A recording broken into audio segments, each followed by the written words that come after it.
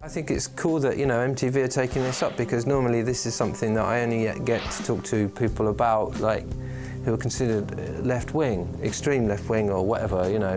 But um, it's good that it's hitting the mainstream. They have produced a video with two parallel stories running. One of a, a little boy in the, uh, the west, uh, one in the sweatshop in the east.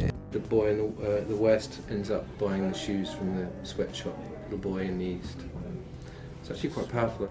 It's something I've obviously read about a lot over the years, um, and I like the way the director was just making it very flat and not. Uh, mm, it's not a. It's just a sort of documentary. It's these things are just happening.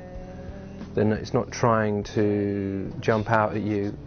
It's not overstating it. It's interesting. It's sort of the sort of images I have in my head anyway and sometimes sometimes when you're walking down the high street and you're looking at the incredibly cheap trainers and so on you think hmm, that's well how did they manage to make that so cheaply?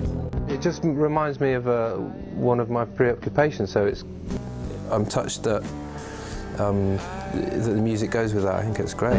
The suggestion was made to use all I need probably because of something in the lyrics although I'd never really thought about it before like that the lyrics themselves have a twist to them, uh, which, as I watched it, yeah, the, something in the second verse about um, only stick with you because there are no others. Uh, when you see the little boy painting the, the glue on the trainers, uh, the base of the trainers or whatever, then that's, yeah, that's, it works quite well. Quite proud of that actually, nothing to do with me, but I'm quite proud of it hopefully some level of the emotion in the song will, will jump out of people in the context of those images. Who knows? I'm glad you guys just want to use it, really. You can say uh, that, the, the, human trafficking and the exploitation is happening over there in the distance, uh, but in the first context of sweatshops, uh, cheap clothes and trainers, uh, electrical goods and so on, that is tainted with pure human exploitation. The West turns a, a, blind eye to the fact that it's moved most of its manufacturing elsewhere uh, because uh, labour is cheap, and to some extent that's just simple economics, and some extent that's because uh, exploitation could be done behind uh, doors rather than coming to the website to read uh, not very interesting information about what we're up to. We'd much rather people jumped on the links that we put on the side, which um, are a lot of a slightly political bent.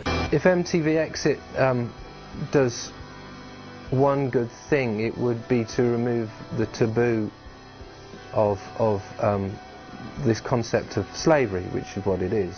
If they can make it something that is okay to, for, for us to talk about and the people in, um, affected to start to go and find information about it and for politicians to accept the fact that actually this is an issue, then, then uh, you're doing very well, I think. Join the fight to end exploitation and trafficking, uh, go to mtvexit.org.